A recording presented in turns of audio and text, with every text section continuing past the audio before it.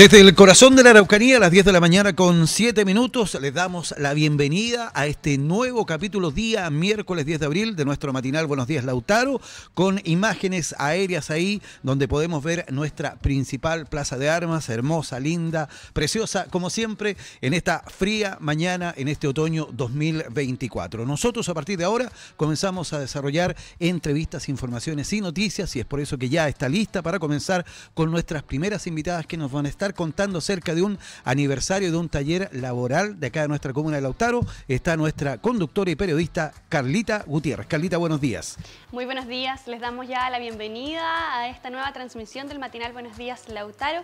Claro, nosotros ya a esta hora de la mañana estamos listos para poder comenzar, para poder informarles a ustedes de diferentes actividades, también del desarrollo de algunas agrupaciones y es justamente el tema que vamos a eh, comenzar hablando el día de hoy, porque ya estoy junto a nuestras primeras invitadas. Me acompaña aquí en el estudio Margarita Rifo, quien es socia del taller laboral Las Orquídeas y también su presidenta Anita Buencho, con quien vamos a hablar sobre todo lo que han trabajado ya durante tantos años aquí en nuestra comuna y por supuesto también del aniversario número 10 que celebraron hace unos días solamente aquí en Lautaro. Así que muchas gracias por estar acompañándonos aquí. ¿Cómo están? Bien, aquí acompañándola. Qué bueno que pudieron asistir el día de hoy. Habíamos hablado hace unos días antes para que pudieran venir, conversar del taller. Así que eh, agradecerles por haber venido. Y bueno, comencemos entonces a conversar de todo lo que han desarrollado. Le pregunto ahí en primera instancia a su presidenta que nos cuente de la historia de este taller. ¿Cómo nace aquí en la comuna? Bueno, el taller, eh, nosotros cumplimos recién 10 años, pero nosotros estamos formadas de mucho antes. Nosotros empezamos a trabajar con PRODEM, eh, esto hace años atrás cuando estaba de, alcalde don Renato Auri. Y de ahí nosotros empezamos y después estuvimos unos años con Prodemo, después nos pidieron formar el taller laboral, eh, lo formamos pero sin personalidad jurídica. Y bueno, nuestro aniversario empieza a contar desde que nosotros tenemos la personalidad jurídica. Entonces son 10 años, pero en realidad son muchos más. Claro, son 10 años eh, oficialmente con la personalidad jurídica, pero desde hace eh, años antes que habían comenzado a trabajar. Sí. Ya, y ahí son eh, vecinas del sector que comienzan a juntarse. Claro, generalmente nosotros empezamos con socias de la Junta de Vecinos. Como socia de la Junta de Vecinos, el, el presidente de ese entonces, don Roberto Carlos Venega, él nos reunió para que nosotros formáramos el taller laboral la Junta de Vecinos nos apoyó con materiales para que nosotros empezáramos. Y, de ahí estamos. Eh, bueno, han entrado gente de otros lados igual.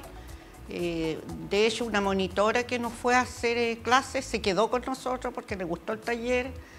Así que por el momento somos 15 personas. Hay algunas que se han retirado porque se han cambiado de ciudad y otras por enfermedad. Así que por el momento 15 y con la esperanza de que lleguen algunas más. ¿Y usted, señora Margarita, se, se sumó desde el principio también? Sí, yo, bueno, yo era de Santiago. Y cuando llegué aquí me incorporé a un adulto mayor y después al taller. Y desde esta fecha más o menos nueve años que estoy con ella, mm. con todo este grupo de, damas que, que formamos este grupo. ¿Y qué le ha parecido? ¿Cómo se ha sentido eh, participando del taller? Bien, pues bien, somos unidas, eh, siempre compartiendo con las chiquillas, hay unas más jóvenes, otras que somos más de edad, pero igual lo pasamos bonito y hemos aprendido muchas cosas, pues, porque cada año tenemos distintas monitoras y distintas cosas que aprendemos. Así que todo bien. Sí, cuéntenos ahí sobre los trabajos que realizan. Bueno, eh, hemos hecho tantas cosas, porque todos los años tenemos distintas monitoras, el decoupage, amigurumi, eh, esta, ¿cuánto es? Telares mexicanos. Mexicano, claro. Claro, y, y tejido, moda. El año pasado hicimos delantales personalizados, porque gracias a Dios tenemos varias máquinas de coser y para poder usarlas eh, elegimos una monitora que nos enseñara costura, pero realizamos generalmente delantales personalizados, que quedaron muy bonitos. Y bueno, nosotros prácticamente nuestros productos no los vendemos porque lo hacemos para nosotros, para regalos, así, así que no tenemos mucho que vender. Para su familia Claro, sí. Así que eso hicimos el año pasado. Hemos pasado por distintas técnicas. Van variando, no se van quedando solo en uno, van aprendiendo diferentes técnicas. Claro, este año eh, nosotros no elegimos monitora porque tenemos, sabemos tantas técnicas, entonces ahí vamos a ir haciendo lo que nosotros ya, para no dejarlo de lado y, retomar las técnicas que hemos hecho antes. ¿Y durante el último tiempo en qué han estado trabajando? Bueno, ahora empezamos hace poquito, entonces eh, simplemente nos preparamos para el aniversario. ¿Cómo lo pasaron ese día del aniversario? Muy bonito, muy bonito, un, un ambiente muy, muy familiar entre nosotras y con nuestras visitas que tuvimos también, tuvimos a la señora eh, Claudia. Claudia. Ella estuvo compartiendo porque esa tarde con nosotros, ¿no? Lo pasamos. Claro, justamente. Ella está en el programa de la ¿Y cómo es el apoyo del municipio, del alcalde que también estuvo ahí ese día? Bueno, nosotros estamos súper agradecidos del alcalde porque él no tenía tiempo para asistir. Nosotros lo habíamos invitado a tomar once, pero se disculpó, pero fue a vernos, que eso es lo más importante. Y él tenía muchas cosas ese día. Y sí, el, municipio siempre se ha puesto con los talleres laborales. Mm, con los implementos que dan para que nosotros realicemos nuestras actividades. Y, bueno, con el, con el, espacio ahí de, de, los talleres laborales donde trabaja Jennifer y Claudia, siempre hay ayuda en todo para poder postular a los proyectos, ellas nos ayudan, nos ayudan mucho. Y lamento también de que Jennifer no haya estado con nosotros, ella todos los años está desde que asumió y bueno, estaba dedicada a salud, así que no pudo estar, se disculpó. Estamos viendo algunas imágenes en pantalla eh, de lo que fue ese día de celebración. Ahí vemos una fotografía también de las socias que estaban presentes, reunidas. Eh, ¿Qué habían preparado para ese día y cómo estuvieron compartiendo? Bueno, eh, una once, pero como una once cena. Once cena. sí. con algunos traguitos. Un pequeño cóctel. Un pequeño cóctel, después una cena muy, muy rica. Y ahí ¿Y este aniversario número 10, cómo lo reciben? ¿Cómo ven al grupo? Eh, sabe que ahora eh, el año pasado estuvimos un poquito flaqueando, que yo le dije ahí a, la, a las dos, nadie se ha retirado. Lo que pasa de que no asistían, bueno, eh, han pasado los años también en el invierno, claro, en el invierno, pero yo les digo a las socias, aunque sea una vez en el mes que vayan, ya se, se puede hacer algo. El año pasado, después que terminó la monitora, ya prácticamente no tuvimos reuniones porque nadie tuvo interés en ir, en asistir. Pero se ve este año que estamos mejores, están más comprometidas. Están retomando Claro, estamos retomando. Pero igual la amistad sigue igual. Si no... Sigue igual. Claro, cuando hay alguna que está pasando por un periodo, eh, visitamos a la socia, compartimos con ella y así no, la unión es bonita, es bonito nuestro grupo. Pero ahora, ¿cada cuánto se van reuniendo? Eh, todos los sábados, de, 3 a 5. Bueno, se me queda algo en el tintero de ese día del aniversario. Nosotros tenemos una socia fallecida, la señora Marta Edo. Eh, nosotros vamos a romería al cementerio, ya dos años, dos años lleva ella fallecida y los dos años hemos ido a romería, porque no podemos olvidarnos de las socias que, que fueron y que fueron fundadoras de nuestra organización se va generando una amistad de tantos años. Claro. De tantos años, justamente. Así que eh, eso estuvimos haciendo el día sábado. El día sábado lo dedicamos al taller laboral, a nuestra celebración. Ahora pasando el aniversario, ¿van a continuar reuniéndose? Sí, todos los sábados. Ya. ¿Tienen preparadas o pensadas algunas actividades durante este año, algo que les gustaría realizar? Eh, bueno, lo que... Un paseo. Sí. También hemos ido a paseo. Sí, bueno, queremos postular algún proyecto para, que nos lleve algún paseo, pues, a todas juntas. ¿En eso van a estar trabajando? en eso vamos a estar trabajando, haciendo beneficios igual, postulando proyectos. Eh, la subvención queremos dejarla para eso, por eso no pedimos monitora y, hacer lo que nosotros sabemos porque sabemos muchas cosas. Con eh, esto que me comentan de la unión del grupo, de lo bien que lo pasan, ¿qué significa para ustedes poder tener este espacio eh, de todos los sábados, de poder reunirse y compartir eh, con sus, no solamente socias, amigas también? Amigas, claro. Bueno, es bonita la, amistad porque ese día lo dedicamos a, nuestro taller y a ir a compartir ese día ya con ella. Así que no, lo, dedicamos a eso. Sabemos que ese día hay muchas que son solitas y, ese día es para ellas. Y genera algo positivo. Eh, como menciona usted, quizás hay socias que eh, son más solas, no tienen tanto apoyo de su familia o cercanos y tienen este espacio. Tienen ese espacio y tomamos tecito a última hora, mateamos de repente. También cuando ya levantamos el taller nos dedicamos a un tecito y ahí compartimos algunas sus vivencias que ha pasado durante la semana, en fin, y todo eso. Así que... Claro, y generalmente nosotros somos, nuestros talleres de 3 a 5, pero nos llegan las 6, las 7 a veces. Claro. Va pasando la hora. Y la idea es de que ese día la que va al taller no ande apurada. Sí, o sea, nosotros decimos, no, no vengan apuradas, que no tengan que hacer, para estar relajadas y hacer las cosas. No, es que eh, si tenemos monitor en dos horas tampoco se puede hacer mucho. Siempre se alarga.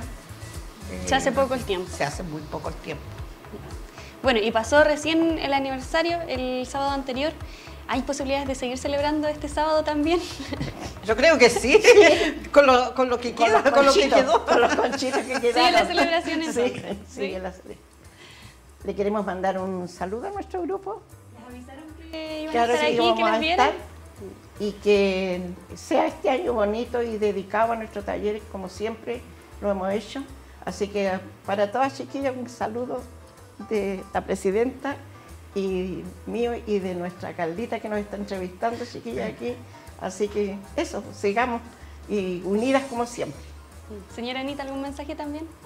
Sí, un, mensaje a, todas las, chiquillas que nos preocupemos de todas nosotros, no solamente cuando vamos el sábado nos veamos, sino que estemos en contacto, que ahora todos tenemos teléfono, podemos eh, preguntar por alguien que está delicada de salud, de hecho, tenemos en este momento una persona que está un poquito delicada de salud y la, estamos en contacto con ella. Que nos preocupemos entre nosotros. Y un saludo a todas, que sigamos así como siempre. Sí, ojalá eso es lo bonito que se crea en estos grupos, en este taller laboral, las orquídeas. Así que bueno, agradecerles nuevamente por haber estado aquí junto a nosotros en el matinal, felicitarlas a ambas y a todas las socias del grupo por este aniversario número 10. Que lo pasen muy bien, que lo sigan pasando bien durante este sábado si es que continúa la celebración. Así que un saludo a todas ellas. Y bueno, ahí quizás las podemos ver más adelante para comentar otros temas acá en el matinal.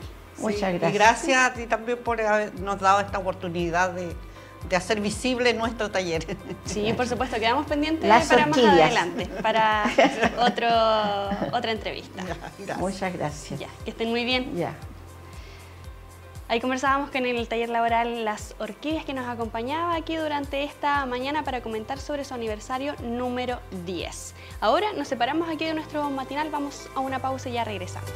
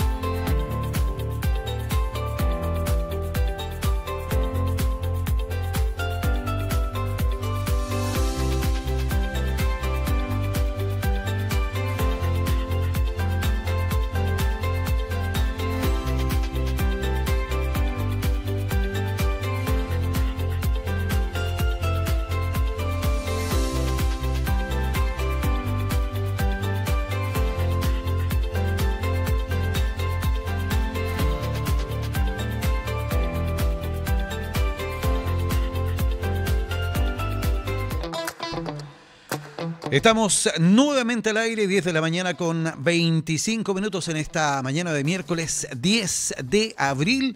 Hablábamos recién con eh, estas amigas, ¿cierto?, de este grupo de mujeres que se reúne a diario acá en nuestra comuna de Lautaro y que conforman estas agrupaciones donde lo pasan muy bien. Y vamos a hablar ahora con respecto a otro tema que obviamente resulta muy, pero muy interesante. Por eso que ya estamos con nuestro siguiente invitado, Carla Gutiérrez.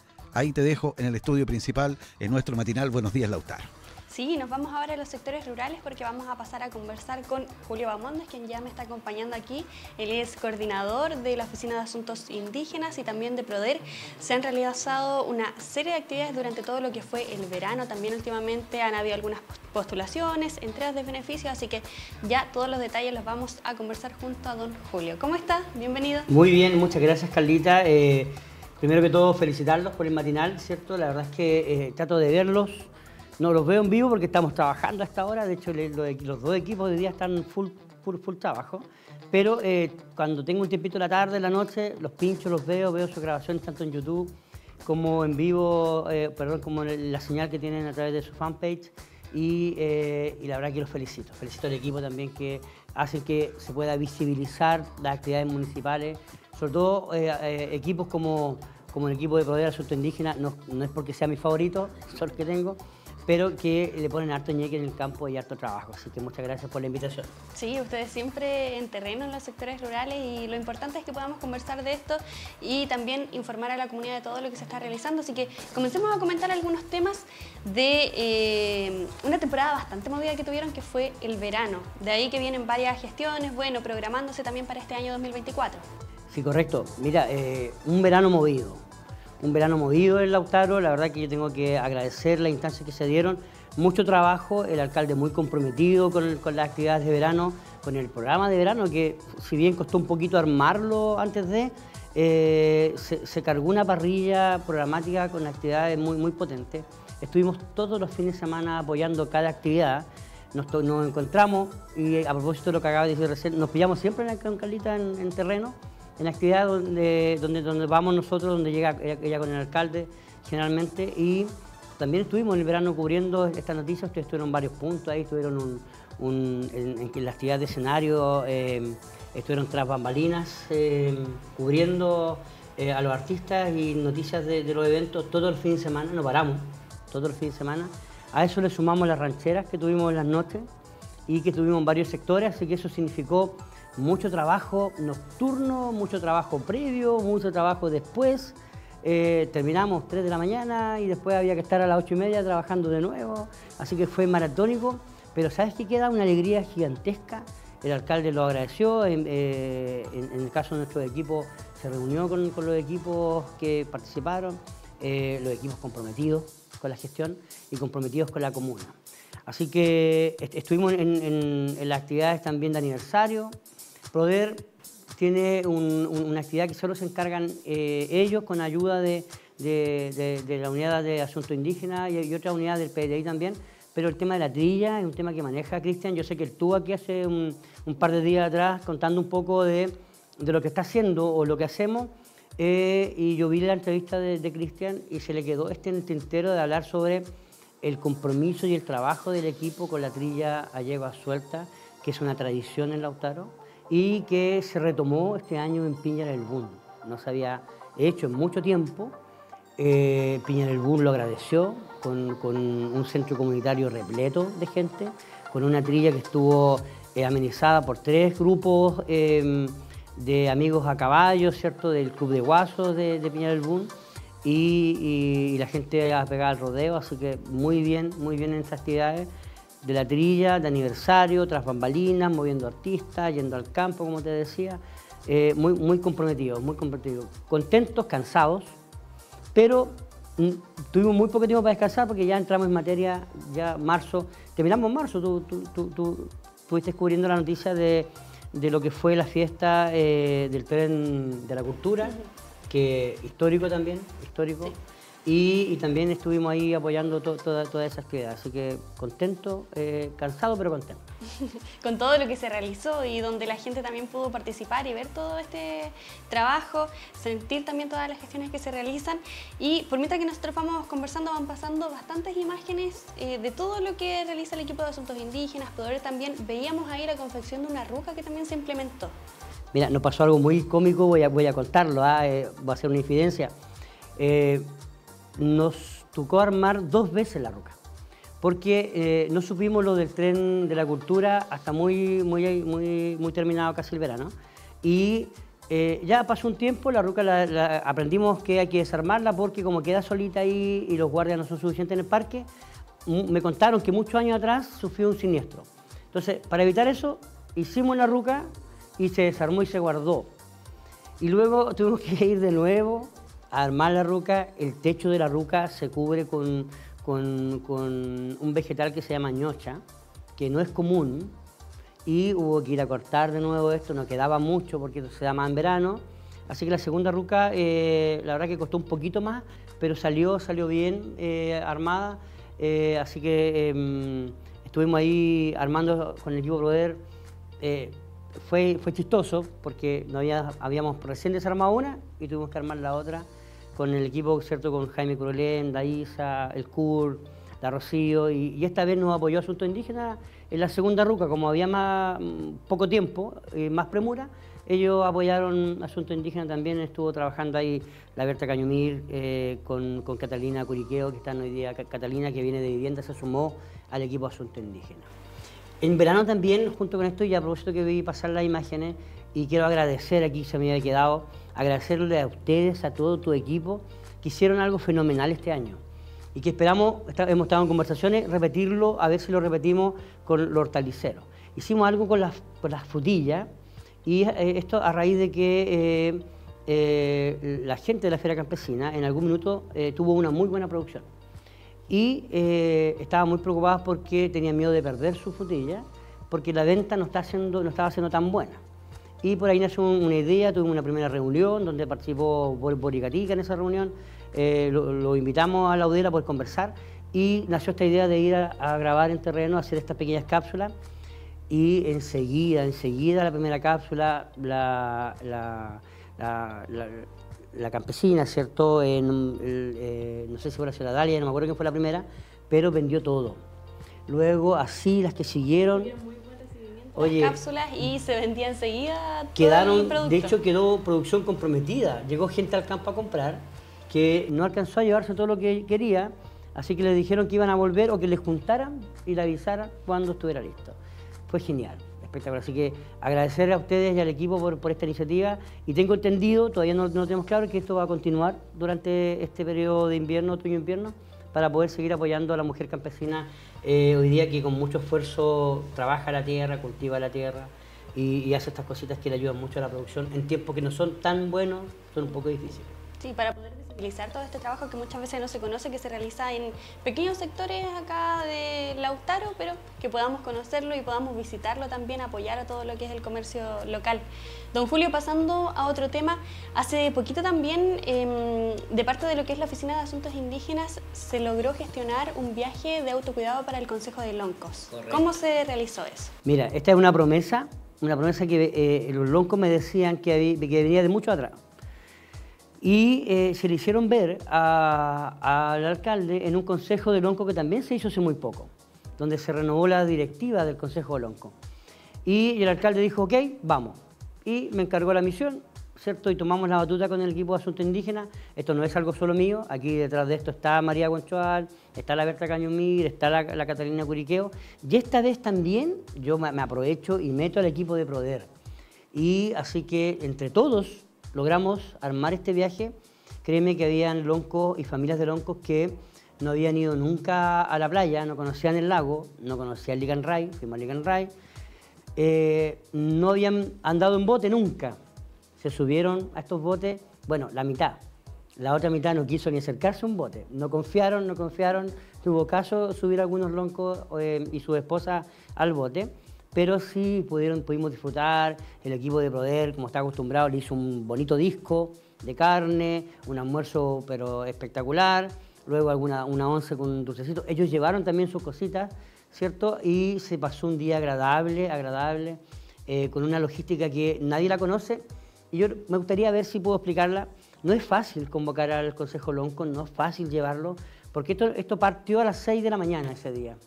Si bien el bus salió a las ocho y media, a las 9 casi, esto partió a las seis y media recogiendo el primer lonco, porque se van a buscar casa por casa y no viven muy cerca. Entonces, eh, viven en todo el, territorio de Lautaro, que es muy extenso. Así que lo mismo ocurrió cuando llegamos, hubo que repartirlo, pero la verdad que la logística que se armó por, parte de los equipos fue espectacular y eh, a las diez y media en su casa el último lonco que se estaba entregando ese día. Todos eh, contentos, muy contentos, el presidente don Martín muy contento por esto que se gestionó y agradeciendo al alcalde que pudo, hacer, eh, pudo plasmar este compromiso, que lo había hecho hace un par de semanas atrás en, el Consejo y rápidamente pudimos organizarlo con los dos equipos. Así que muy bien por eso. Don Julio, siguiendo en esta temática de asuntos indígenas, también ustedes prestan ahí un apoyo importante para el tema de la beca indígena. ¿En qué consiste eso? Sí, mira, hoy día nosotros, eh, la Oficina de Asuntos Indígenas está con mucha carga. Eh, no solo trabajamos la semana de 8 y media a 2 atendiendo público, también en la tarde salimos a terreno y los fines de semana nos vamos a las comunidades donde va el alcalde, estamos nosotros con, los representantes recogiendo todo, todo lo que se necesita en el campo. Eh, el tema de la beca indígena eh, hoy día eh, ha sido algo que creció los últimos tres años.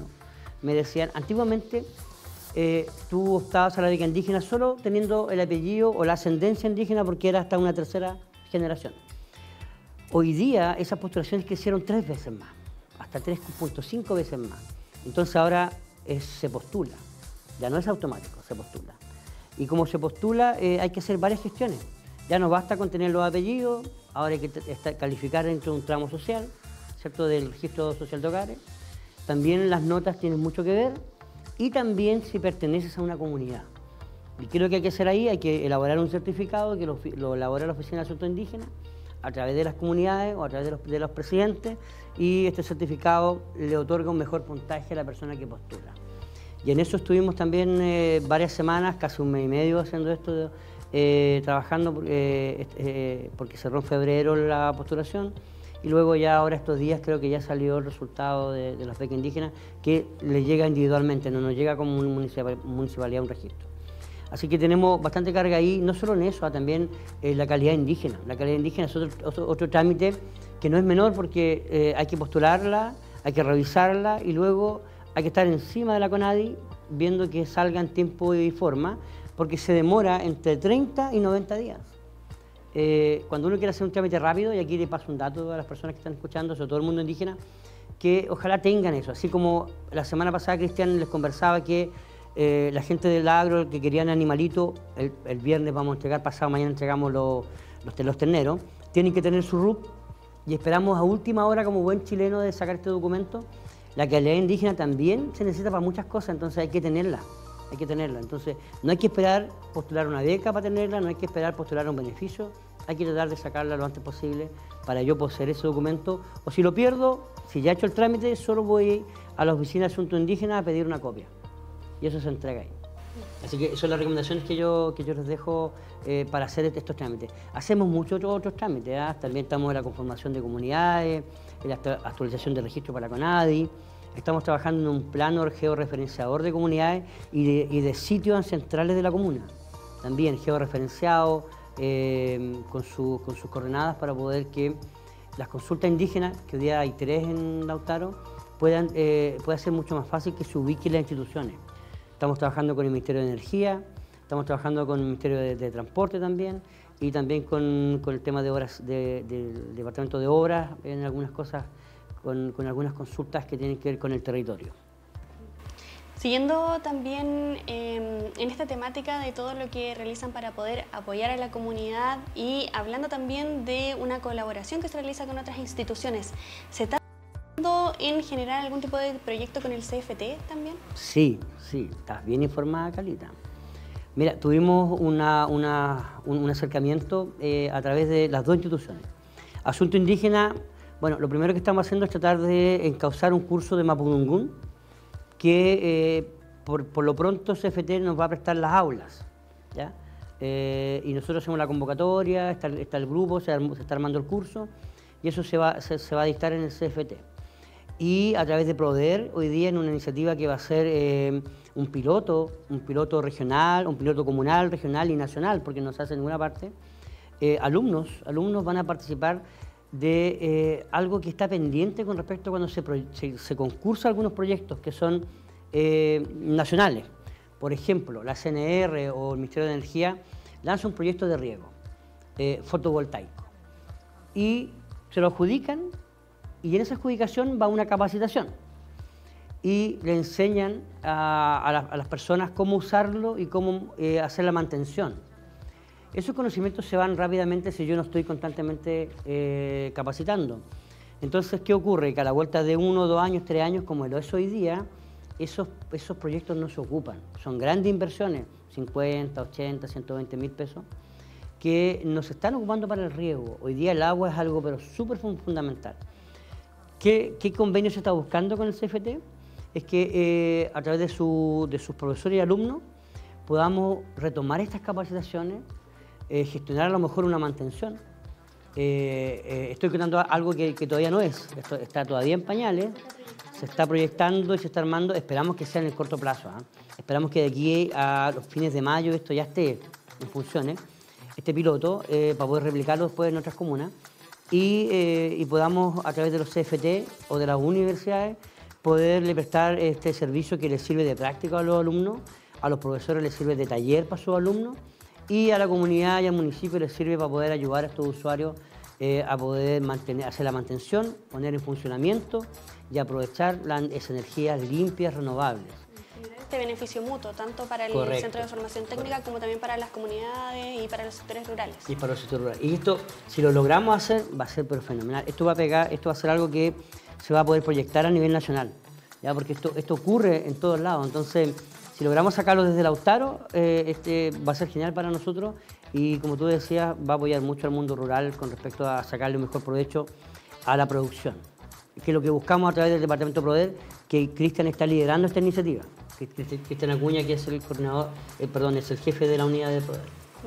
Esperamos tener buenas noticias pronto sobre eso y que tengamos también la posibilidad de conocerlo aquí en el matinal cuando ya tengan ahí todo formalizado y listo para poder comenzar. Perfecto. También preguntar, bueno, cuando estuvo eh, Cristian Acuña acá con nosotros nos habló sobre el tema de la entrega de nylon. ¿Cómo ha estado funcionando eso? ¿Ya están cerradas las postulaciones? Mira, mira, Cristian, nos pasan dos cosas aquí. Hoy día estoy contando infidencias, así que van a quedar grabadas. Nos pasan dos cosas aquí con Cristian. Cristian es alguien y su equipo son muy apegados al mundo rural, pero muy apegados, ellos lo dan todo y si hay que trabajar hora extra, si hay que trabajar lo que sea, por su, por su usuario, eh, ellos atienden alrededor de 1.500, 1.200, eh, a veces en años que son difíciles, 800 usuarios. No es menor, es un número importante de gente Lautaro que es productiva, ya sea para autoconsumo o para, o para la venta y también con el tema del cuidado de animales. A propósito, hoy día ellos están haciendo el manejo eh, sanitario en varias comunas. Ayer estuvimos con el alcalde en, Marileo haciendo esto. Y eh, Cristian, con pena, me, dice, me pasan dos cosas. Primero, los recursos son pocos. Me decía, jefe, no nos va a alcanzar. Eh, hicimos un listado, ellos tienen abierto un concurso que cierra el 15, y este concurso era para 80 personas, 80 beneficiados. Lamentablemente, son los recursos que hay. Yo le conté al alcalde esto, y porque Cristian me dice, le preguntó a Isabel, quien lleva este registro, Isabel Castillo, que nos apoya en esto, y dice, van 300 personas inscritas. Porque la necesidad hoy día es más grande aún, la gente hoy día más necesita. El triple de lo que tenían presupuestado. Correcto, y puede que lleguemos a 400.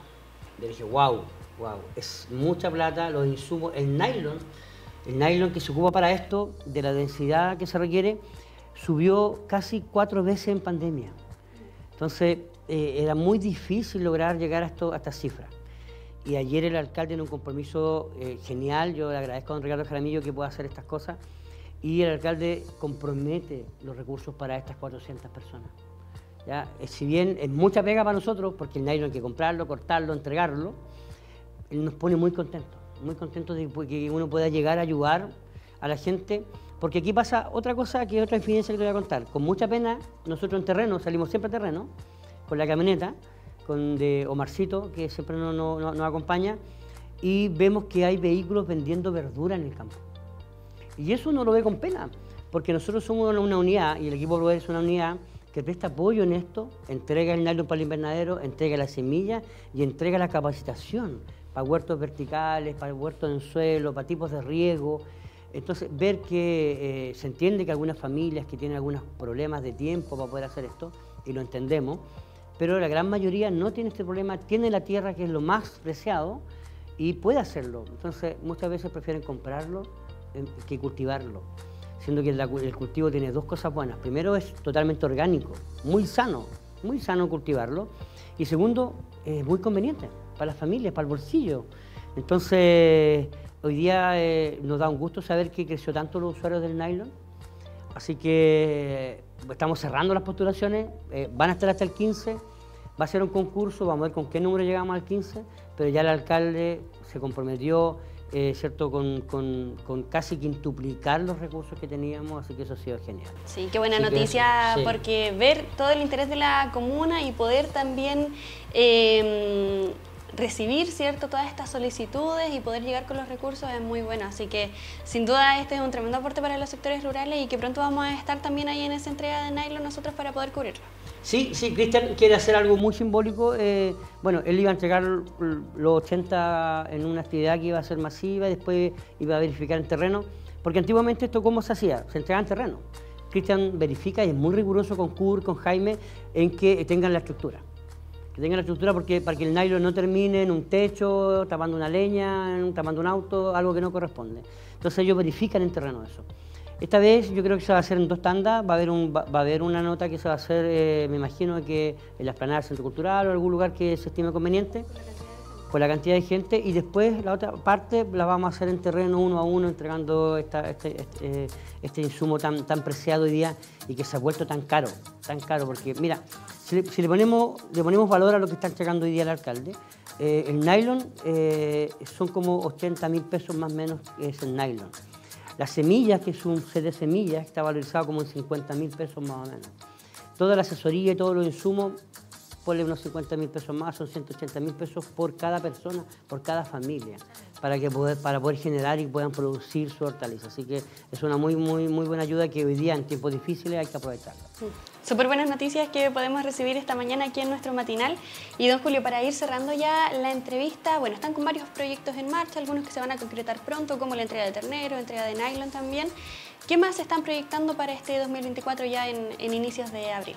Bien, mira, eh, con asunto indígena se nos vienen buenos desafíos. Se viene el Día del Toqui, que es el 29 de septiembre. Estamos buscando el día que acomode mejor pero el día del Toki, ¿cierto? Que se, que se conmemora la muerte del Toki Lautaro es el día 29, eh, perdón, de, ahora de abril.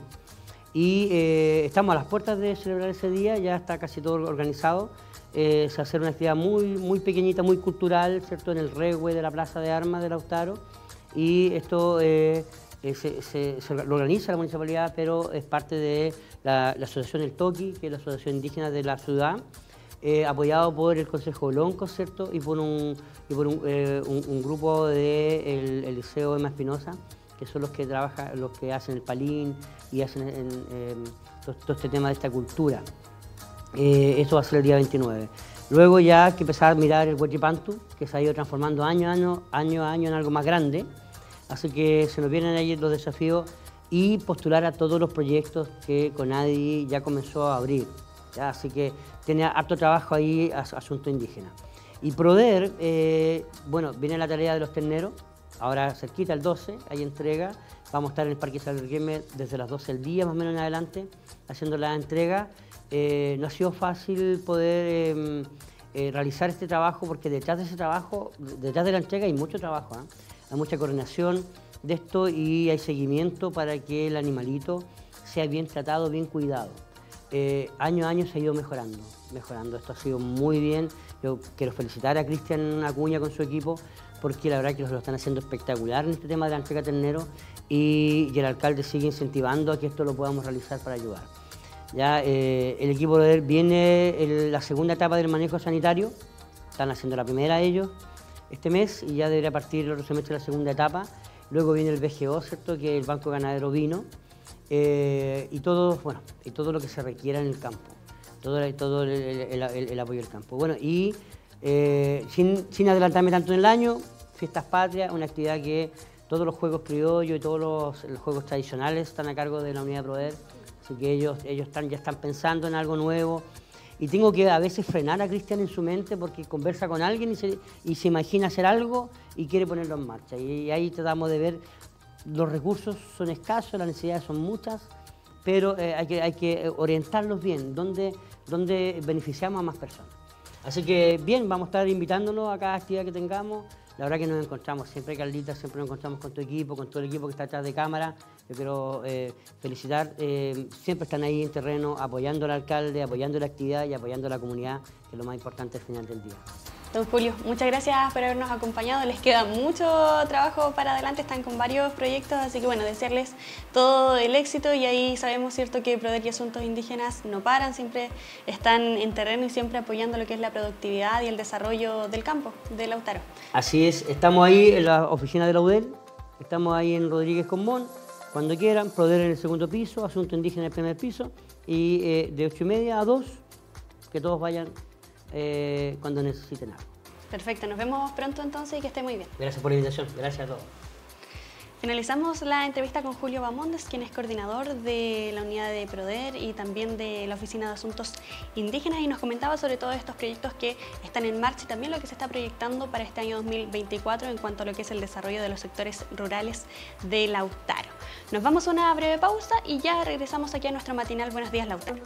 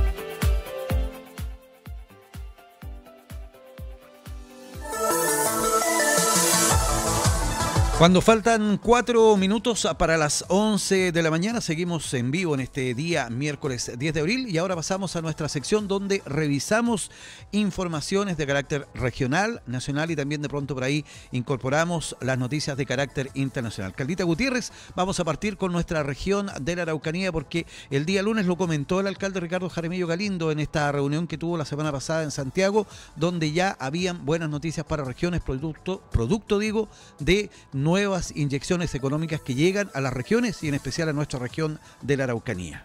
Sí, comenzamos con una nota regional y bueno, lo dice ahí el titular que eh, la inyección de recursos tras el royalty minero beneficiará a 31 comunas de nuestra región de la Araucanía. Son positivos los números que arroja eh, el IMASEC de marzo y el último informe también de la política monetaria que dan cuenta de más y mejores señales de reactivación económica para todo nuestro país. En el caso de la región de la Araucanía, estos indicios se suman al aporte del denominado Fondo para la Equidad Territorial parte de la ley de royalty minero que mencionabas tú, Boris, que permitirá que, permitirá que ingresen 170 millones de dólares a 302 comunas del país, incluyendo por supuesto lo que es la región de la Araucanía. Al respecto, la Seremi de Gobierno de la Araucanía destacó que para el presidente este 2024 es el año de despegue en materia económica y ahí también nos dejó algunos importantes datos.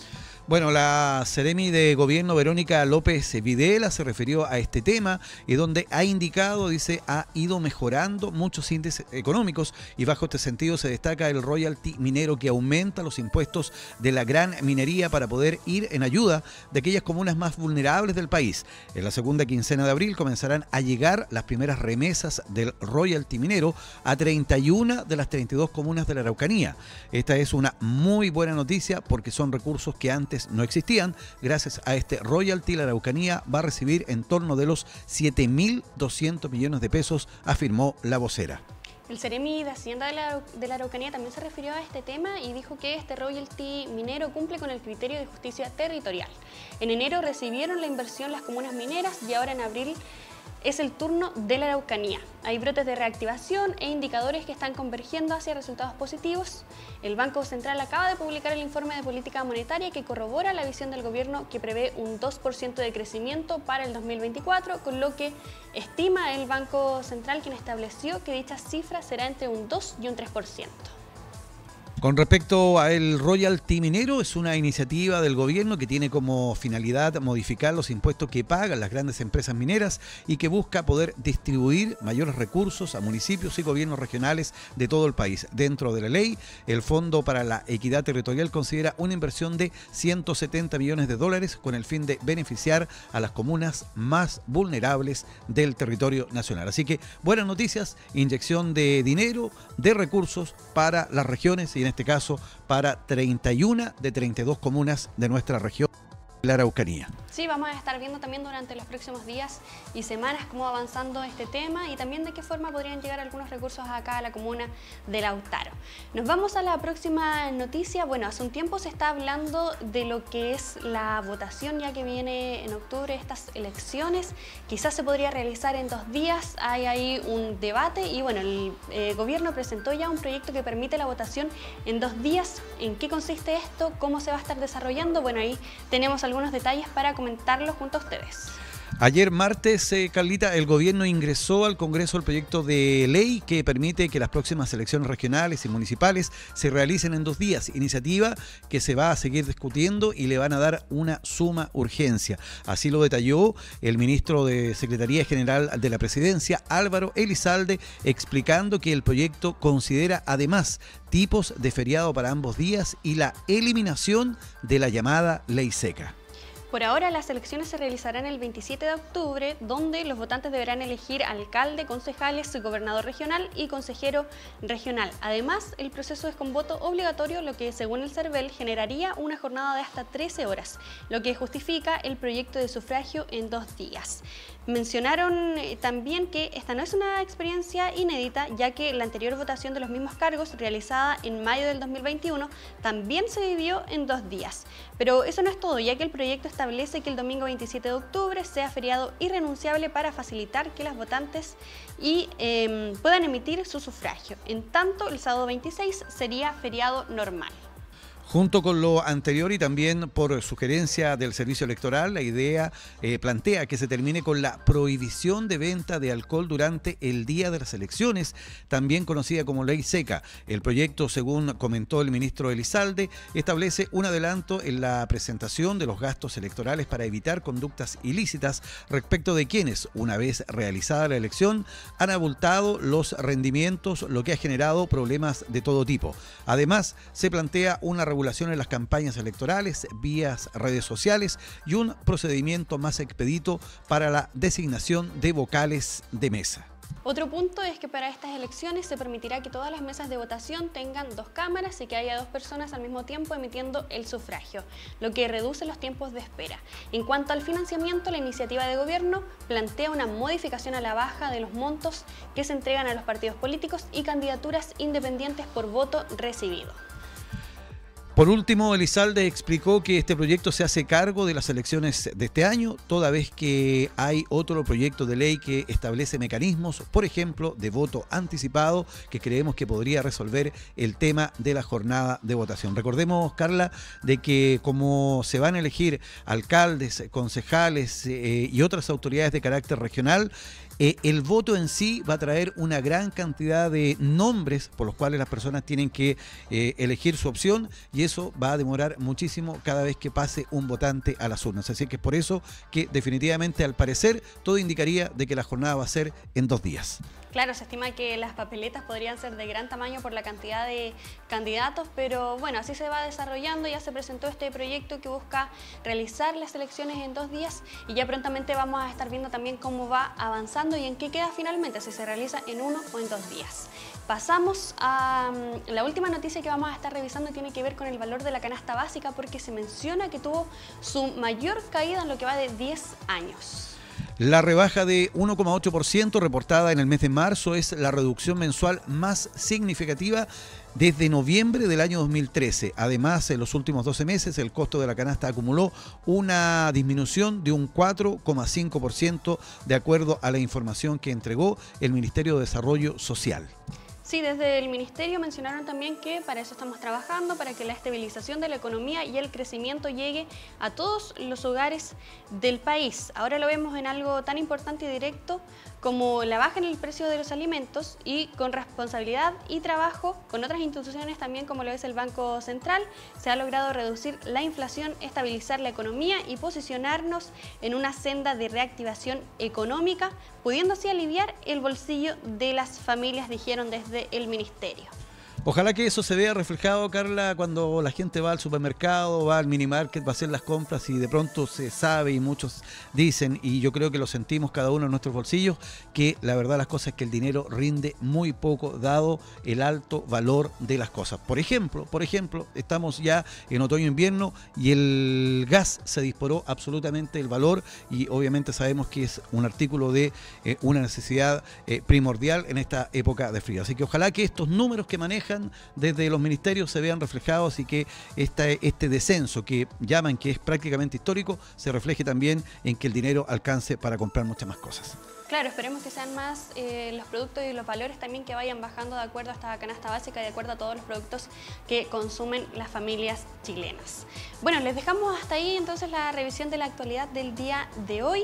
Vamos a seguir hablando de otras temáticas, también informaciones con respecto a lo que es nuestra comuna de Lautaro, pero vamos a una pausa y regresamos ya aquí con eh, otra entrevistada para hablar de educación.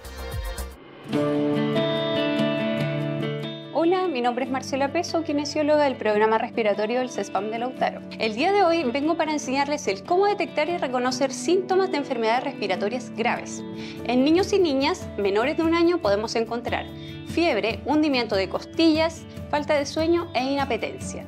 En personas mayores, enfermos crónicos y embarazadas podemos encontrar respiración rápida o ruidosa, tos, escalofríos, decaimiento, falta de sueño o de apetito. Frente a dichos signos y síntomas, acuda a su centro de salud y solicite una evaluación médica. Ahora, si además encontramos dificultad para respirar, pérdida de conciencia o labios morados, acuda al servicio de urgencia más cercano o llame directamente a SAMU al 131. La detección y tratamiento oportuno son la clave para evitar un riesgo grave de salud, especialmente en nuestros grupos de mayor riesgo. Desde el CESFAM de Lautaro los invitamos a seguir estas recomendaciones.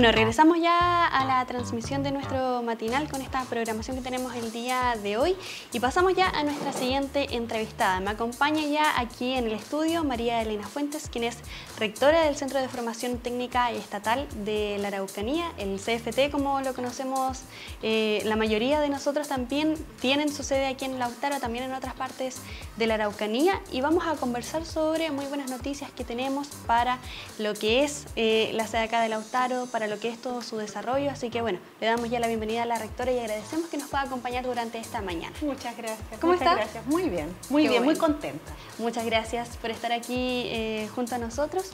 Primera vez que la tenemos, creo, aquí en el matinal. ¿Había Así venido es. antes? Así es, no Sí. había venido antes porque había sido un periodo de mucho trabajo. ¿Ya? Así que ahora ya podemos contar buenas noticias para la comunidad. Bueno, comenzaron hace poquito con lo que es el inicio del año académico del CFT. Conversemos un poco eh, del contexto en el que se desarrolla eh, todo lo que es el trabajo académico del Centro de Formación Técnica. A ver, el CFT de la Araucanía surge el año 2018 en la, en la comuna de Lautaro, es su, su primera sede instalada acá. Surge en el marco de una ley ya que se dictó bajo el gobierno de la expresidenta Bachelet ¿ya? y eh, que busca instalar CFT estatales, uno en cada región. ¿ya? Yo diría que eso, eso es lo esencial. CFT de la Araucanía nace en Lautaro con 92 estudiantes del año 2018. Y este año, en total, tenemos 1.544 estudiantes con fecha de corte viernes de la semana pasada, más o menos. ¿ya? El 30 de abril es exponencial, yo diría que somos eh, con seguridad uno de los FT estatales en Chile que ha tenido el mayor crecimiento en, el último bienio. Ya nosotros hemos crecido por un factor de tres en los últimos dos años. Entonces, partimos con 92 estudiantes, Hoy tenemos 1.544 aproximadamente y en los últimos dos años, del 2022 a la fecha, pasamos de 426 a 1.544 actualmente. ¿ya? Y ahí eh, la cantidad de estudiantes en la comuna de Lautaro es, esencial, digamos. La, la, mayor cantidad de estudiantes está en esta comuna, tenemos 830 estudiantes matriculados este año en Lautaro, 650 aproximadamente en la comuna de Angoli cerca de 57, 60 estudiantes en Lonquimay. Los números exactos van a estar el 30 de abril. Ahí vemos también cómo va creciendo tanto el interés de las personas por las carreras técnicas, así como también las oportunidades que se les brinda y la apertura del mercado laboral.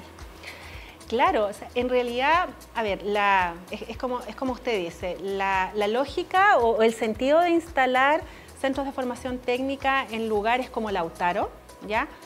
tiene eh, muchas finalidades, yo diría que una triple finalidad. Una primera es ofrecer oportunidades de estudio en zonas donde habitualmente no existía, de modo que las personas puedan estudiar allí mismo donde ellas viven, ¿ya? sin tener que trasladarse, sin, que las familias tengan que eh, realizar gastos asociados a trasladar a sus hijos a las capitales regionales o en ocasiones a otras regiones. Eso es lo primero. Segundo, lo que se busca también es que esta política pública ofrezca carreras de empleabilidad y que tengan empleabilidad en la misma zona. Entonces nosotros ahí lo que hacemos es que generamos carreras eh, en directa relación con las necesidades productivas de la región. Entonces nosotros hacemos todos los años un estudio de las carreras que requiere la zona y sobre la base de ese estudio proponemos nuevas carreras y hemos tenido muy buenos resultados. La matrícula ha ido creciendo exponencialmente. Fíjense, no tanto en la cantidad de carreras, que nosotros tenemos nueve carreras vigentes en este minuto, sino en la cantidad de personas que estudian nuestras carreras. ¿Ya? El resultado ha sido mucho mejor del que nosotros mismos esperábamos y esperábamos muy buenos resultados. ¿ya? Eso. Y la tercera finalidad, hay otras bien importantes también, pero yo diría que estas son como las, las, más, relevantes para lo que usted me pregunta, es que buscamos descentralizar la educación técnico-profesional y además democratizarla por la vía de descentralizarla. Porque la, gran dificultad que existía previo al, nacimiento de los centros de formación técnica estatales en, Chile es que durante 60 años el Estado estuvo ausente de la educación técnico-profesional. El Estado está presente a través de las universidades estatales, ustedes lo saben. Tenemos a la Universidad de la Frontera acá, que es nuestra universidad tutora, la Universidad Arturo Prat, que también está en Victoria. ¿sí? Pero no había formación técnico profesional que dependiese del Estado. Eso estaba entregado principalmente a los privados, que han hecho muy buen trabajo, pero que están principalmente instalados en las capitales regionales y en las zonas donde hay mucha población. ¿Y qué pasaba con las personas que querían estudiar pero que vivían en zonas alejadas y no podían permitirse el gasto que esto significaba? Ahí es que llegamos nosotros. Ese es el sentido de nuestra existencia, descentralizar y por esa vía democratizar. Realizaron hace poco lo que fue la inauguración del año escolar acá en Lautaro, recibiendo también esta gran cantidad de matriculados. ¿Cómo es este proceso que inician para el año 2024 y también cómo ven el desarrollo de la sede de Lautaro, que es eh, la más grande que tienen en la Araucanía? A ver, recibimos 830 estudiantes, también superaban nuestras expectativas en términos de cantidad de estudiantes. ¿ya? Eh, ellos están distribuidos acá, si no me equivoco, en ocho carreras, jornada diurna y vespertina. ¿ya? Entonces, lo que está planificado es que el año eh, se desarrolle en los términos que, hemos eh, generado. Hay tres, em, cuatro escuelas una escuela que es la de Industria y Energía, con tres carreras que son carreras duras, climatización y refrigeración, que es una carrera que no dicta ninguna otra institución de educación superior en, en la región. ¿ya? Electricidad y mm, automatización y mantenimiento industrial. Esa por el lado de las carreras de industria y energía. Por el lado de la salud tenemos la carrera de técnico en enfermería, ya que tuvo lista de espera este año. Eh, luego tenemos las carreras asociadas a educación, técnico en educación diferencial, técnico en parvularia y las carreras de negocio y tecnología en que tenemos gestión de empresas y em, logística empresarial, ¿ya? Acá, y analista programador en Angol. Todas esas carreras, ¿ya? Em, yo diría que eso es, tenemos planificado eh, evaluar si se abren nuevas carreras en, la institución. Ya esto va a depender de cómo se vaya desarrollando eh, la matrícula de nuestros estudiantes. Tal vez eh, nos mantengamos dentro de los próximos dos años con las carreras que tenemos actualmente y las renovemos, las revisemos, etcétera. Yo diría que eso. Bueno, y hablando de todo lo que ha sido el desarrollo, el crecimiento de este CFT estatal Araucanía, hay una noticia muy buena también que se recibe hace un tiempo y que también es uno de los temas que nos convoca para la entrevista del día de hoy, y es que eh, asume una nueva directiva del Consejo de Rectores donde a usted la nombran como presidenta. Así es. El 22 de marzo pasado se renovó la directiva del Consejo de Rectores de los Centros de Formación Técnica Estatales de Chile y asumí la, presidencia de esta directiva durante el año 2024, abril 2024, abril del 2025. Eh, claro, es una tremenda responsabilidad. ¿Cómo recibe este nombramiento? Eh, con, eh, a ver, yo diría que primero con responsabilidad, por supuesto, y con esta noción del trabajo por realizar. ¿ya? Es el Consejo de Rectores de los Centros de Formación Técnica Estatales de Chile es un consejo Nobel, ¿ya? lleva pocos años funcionando porque esta política pública es joven. Entonces está todo por hacer. ¿ya? Yo diría que el principal desafío que tiene este Consejo de Rectores es consolidar la política pública, ¿ya? ¿Qué significan los centros de formación técnica estatales? Esto, esto supone que todos los centros de formación que existen en cada región logren instalarse sólidamente con una cantidad de estudiantes que permita Em, una proyección hacia el futuro. Yo diría que eso es lo primero. Y lo segundo es lograr eh, colaboración mutua. Y ese es el sentido de la creación de centros de formación técnica estatales, uno en cada región, que tienen autonomía, pero que colaboran en pos del crecimiento del país. ¿ya? Ahora, ¿por qué uno en cada región? A la fecha es porque lo que se busca es la identidad territorial. Es que cada centro de formación técnica estatal lo que haga es proponer una oferta educativa que tenga que ver con las necesidades de la región. Una mirada local. Claro, una, con la identidad de la región, porque así podemos apoyar la productividad regional. Y ahí yo diría otra cosa que, que olvidé mencionar a propósito del crecimiento. Estamos creciendo mucho en Lautaro sí. y pensamos seguir haciéndolo. ¿ya? Eh, nos ha ido tan bien que el edificio que tenemos se nos ha hecho pequeño. Entonces, ahí tengo una buena noticia. Eh, recientemente, hará unas dos semanas más o menos, obtuvimos el permiso de edificación de un nuevo edificio.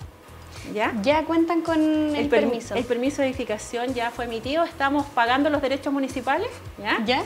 Y es un edificio de 3.200 metros cuadrados que tenemos planificado instalar ahí en, el, en el inmueble en que estamos ubicados. Eh, que lo que busca finalmente es otorgar un estándar de calidad del más alto nivel para nuestros estudiantes. ¿Este era un proyecto que venían trabajando ya hace un tiempo? Sí, nosotros licitamos el diseño de arquitectura de ese edificio el año pasado, ¿ya? Y hemos trabajado, todos, hemos trabajado mucha gente, los, arquitectos, eh, se adjudicaron un grupo de arquitectos eh, bien competentes, este tema con alta experiencia en la región en la construcción de edificios de educación superior. Y como le digo, recientemente nos entregaron la propuesta, así que ahora estamos trabajando en obtener recursos ¿Ya? para financiar la construcción de este edificio. ¿ya? Estamos hablando de 3.200 metros cuadrados, cerca de 6.500 millones de inversión. Entonces esto trae aparejada dos cosas. Primero, trabajo para la comuna, porque la construcción supone eh, oportunidades ahí, pero por sobre todo, mejores espacios para nuestros estudiantes. Mm. Va a haber un, centro, digamos, un, em, un, em, un, centro de eventos, digamos, una especie de teatro eh, para, nuestros estudiantes, van a haber espacios de... ¿Qué les estaba haciendo falta? Nos hacen falta muchas cosas, salas, talleres, em, eh, un espacio, un co-work para los estudiantes, para que todos aquellos nuestros estudiantes que vienen de zonas rurales, por ejemplo, tengan un lugar donde estar, donde comer, donde eh, pasar los, los, ratos o los momentos en que no hay clases y que estén cómodos. ¿ya? Em, eh, y otros espacios que son necesarios también para el ámbito administrativo. ¿Este edificio lo están proyectando ahí en el mismo recinto? En el mismo recinto. Ya. Y bueno, sabemos que son eh, proyectos y procesos de largo plazo, las construcciones se demoran, pero ya tendríamos cierto este primer paso donde tienen el permiso de edificación y donde eh, ya llegando los recursos se podría comenzar a trabajar. Así es, estamos con el permiso de edificación y lo que hay que hacer ahora, y en eso estamos, es generando proyectos para financiar la, la construcción del edificio, que no es poco dinero. No, no, no es menor. Pero la matrícula obtenida por el CFT de la Araucanía avala eh, la, claro, avala la necesidad y avala eh, la, posible asignación de recursos. ¿ya? Porque, por supuesto, se trata de recursos que van a ser bien utilizados, porque se trata de espacios que efectivamente se requieren. Y que va a permitir a largo plazo seguir ampliando aún más este número de matrículas. Así es, así es.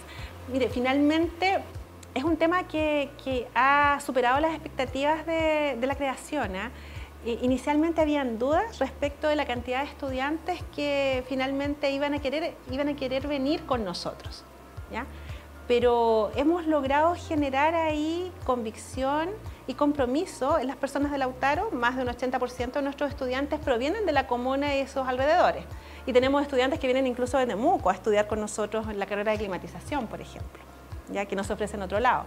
Entonces nosotros pensamos que el próximo año eh, pudiéramos acercarnos a los mil estudiantes.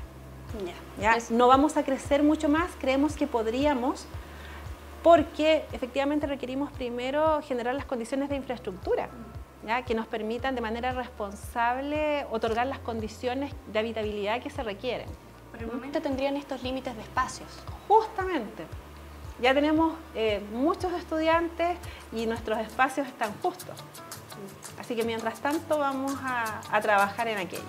Teniendo en cuenta este despegue indudable que ha tenido el Centro de Formación Técnica Araucanía desde que está presente eh, tanto en la comuna de Lautar como en las otras eh, comunas, tiene mucho que ver entonces con el nombramiento también em, de usted como presidenta de la directiva del Consejo de Rectores, porque sin desmerecer por supuesto el trabajo de los otros centros de formación técnica, pero el, trabajo y el avance que se ha logrado aquí, especialmente en Lautaro, ha sido bastante importante, proyectándose también en este crecimiento de infraestructura.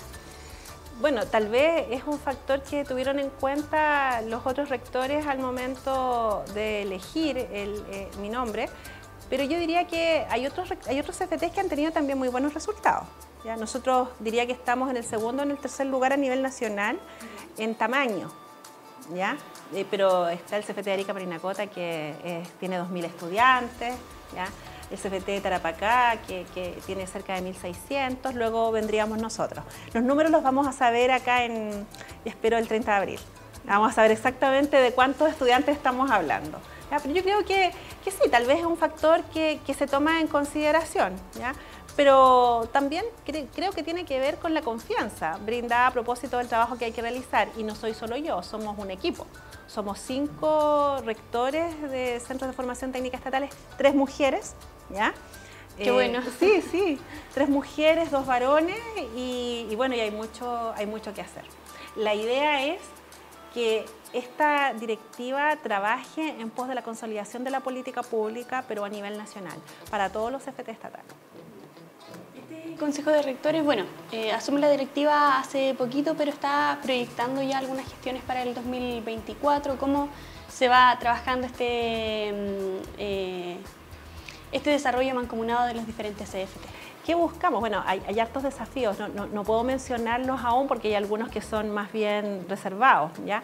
Pero yo diría que em, tal vez uno, de los más relevantes sea buscar mecanismos que permitan garantizar el financiamiento de estas instituciones. ¿ya? Nosotros somos instituciones del Estado, somos, eh, en ese sentido somos instituciones públicas el Estado nos brinda un apoyo bien relevante, ya a propósito de la ubicación en que nos encontramos principalmente. Entonces, para nosotros es bien relevante em, estar muy atentos a cuál es el aporte que el Estado brinda a los FT estatales para que eh, nosotros podamos efectivamente sostenernos en el tiempo, ¿ya? particularmente, por ejemplo, en temas de inversión, ¿ya? de infraestructura. O en temas de, asociados aportes eh, de gasto operacional, ¿ya? de manera tal de que aseguremos que, que, estos, que estas instituciones efectivamente puedan sostenerse en el tiempo. Y volviendo un poco más a lo local ya, eh, ¿qué tan afortunados somos aquí en Lautaro de contar eh, con esta sede que es la más grande también de la Araucanía, donde tenemos esta tremenda oportunidad de contar con estas carreras de formación técnica profesional? Yo, pienso que, fue un acierto el, definir que la instalación de, del CFT estatal de la Araucanía fuera el Lautaro. ¿ya? Yo creo que, esa fue una muy buena decisión. Eh, yo diría que una de las razones, son muchas, pero una de las razones principales es que estamos cerca del parque industrial. Entonces yo diría que eso es bien relevante. Eso nos permite generar eh, oportunidades de articulación con las empresas que están en el parque industrial. Nosotros estamos eh, trabajando en una propuesta de trabajo conjunto que vamos a proponer a, los dueños, a Corpa Araucanía de, de, del parque industrial, a objeto de verificar la pertinencia de nuestros perfiles de egreso con las necesidades que tienen las empresas. Y creemos que eso es muy útil para la comuna, porque va a significar que nuestras carreras actuales y las futuras efectivamente respondan a las necesidades y eso genera empleabilidad y genera empleabilidad de buena calidad. Entonces yo creo que por ese lado si usted me pregunta qué beneficio, pertinencia. Primero, oportunidades eh, de formación. Segundo, empleabilidad. Tercero, pertinencia de nuestras carreras a las necesidades, de manera de, de dar una empleabilidad de buena calidad. ¿ya? Y el otro beneficio que creo yo, yo que estudié en el sistema antiguo, cuando no había gratuidad, ¿ya? es que el CFT de la Araucanía tiene la, la, característica especial de que sus estudiantes pueden optar a la gratuidad. ¿ya? No es que nosotros demos estudios gratuitos, no. Pero todos aquellos estudiantes que cumplen con los requisitos pueden estudiar con nosotros con gratuidad y acceder a beneficios estatales. Yo creo que eso es una tremenda oportunidad en la zona, porque existen otras instituciones que tienen también esa posibilidad, pero están en Temuco. Entonces, todas las personas que viven en Lautaro y en sus alrededores pueden venir a estudiar con nosotros con los mismos beneficios que podrían estudiar, que podrían obtener en otras instituciones de educación superior en Temuco, pero acá, en la, en la zona. Sin tener que gastar recursos, tiempo, trasladándose a otros lugares. Yo diría que eso es, una, es una buena cosa para la comuna. Bueno, para ir finalizando ya la entrevista, felicitarla por este nombramiento que recibe como presidenta del Consejo de Rectores de los CFT estatales de Chile y eh, desearles todo el éxito para estos proyectos que tienen en el CFT, tanto aquí en Lautaro como también en las otras sedes de la Araucanía. Y bueno, preguntar ahí, eh, comienzan el año con muy buenas noticias, ¿cierto? Con esta infraestructura que prontamente podría ser una realidad. ¿Qué otros proyectos o metas quedan para el 2024? A ver, yo diría que la, el, la, la, la, principal meta es consolidar la, posibilidad de llegar recursos para construir el edificio. ¿ya? Eso, eso yo diría que es, lo más relevante. Segundo, consolidar eh, nuestro equipo académico y administrativo.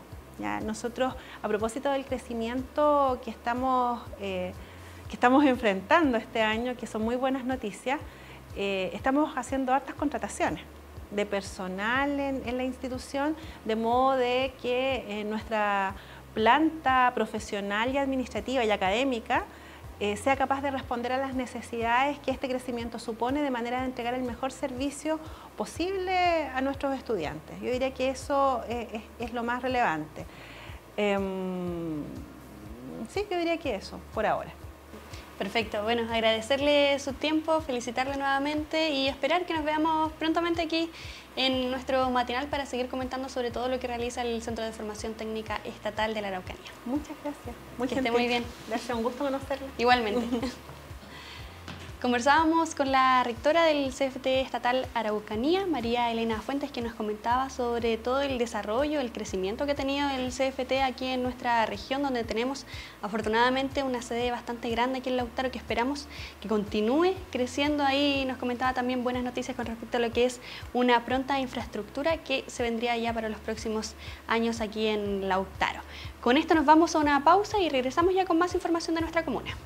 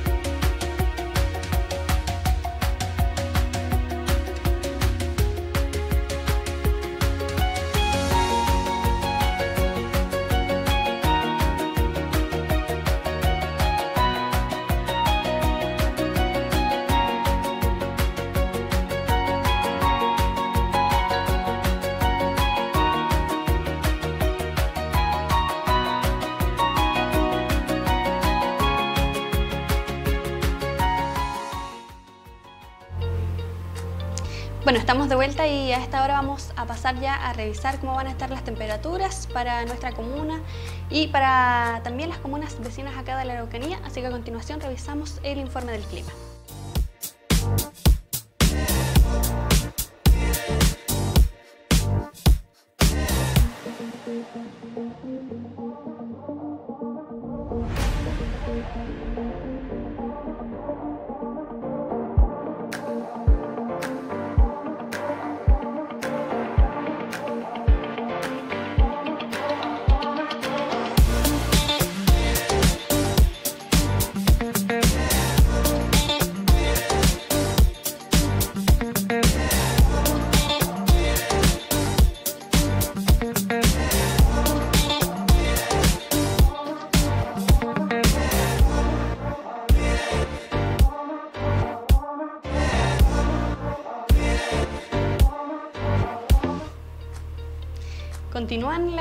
Temperaturas agradables para nuestra comuna con 22 grados al menos hasta el día viernes.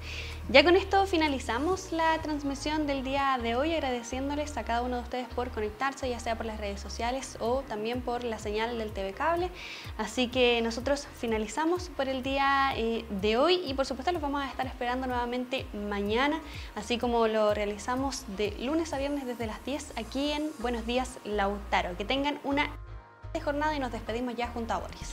Perfecto, Carlita, un abrazo muy grande para ti. Gracias a todo el equipo que estuvo trabajando en el día de hoy. Nosotros dejamos la invitación para que mañana, nuevamente desde las 10 de la mañana, usted se entere de informaciones, noticias, entrevistados y mucho más que vamos a tener en un nuevo capítulo de nuestro matinal Buenos Días, Lautaro. Día miércoles 10 de abril, con algo de sol, un tímido sol de otoño. Estamos despidiendo el capítulo del día de hoy. Un abrazo muy grande. Esta mañana, cuídense.